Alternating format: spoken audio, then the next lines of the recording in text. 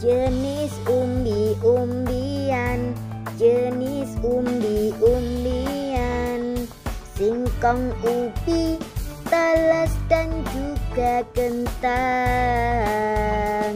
Jenis umbi-umbian jenis umbi-umbian. Singkong ubi talas dan juga kentang. Umbi singkong bisa jadi ketuk lindri. Umbi jalar bisa jadi lobi-lobi umbi talas bisa jadi keripik talas. Umbi kentang bisa jadi perkedel kentang. tang